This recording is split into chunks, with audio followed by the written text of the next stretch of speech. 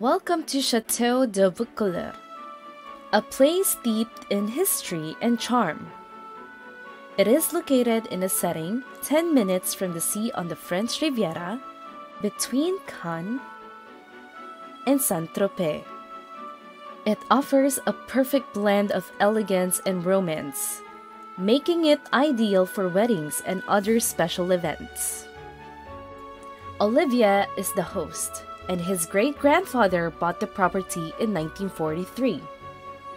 This chateau has 250 years of history and has hosted illustrious figures over the centuries. It has been in the family for a very long time with generations having spent their summers together at the chateau.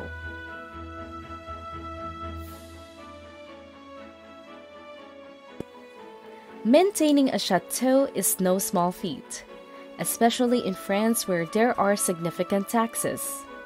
There is a constant need for maintenance and repairs, both inside and outside, all of which cost money.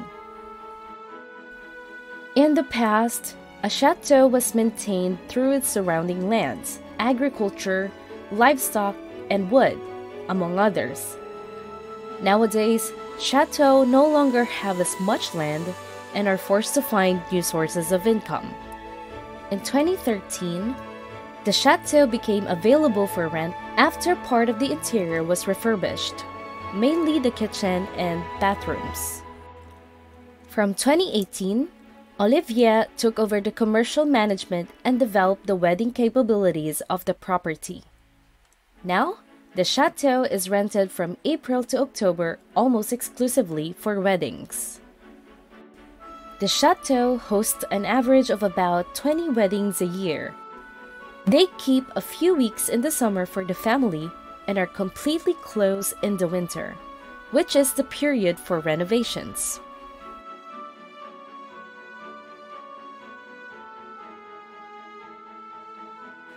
The best period is from June to September, but it's also the most expensive as the chateau is very much in demand. It is advised to book at least one and a half to two years in advance, especially for popular months such as May, June, and September.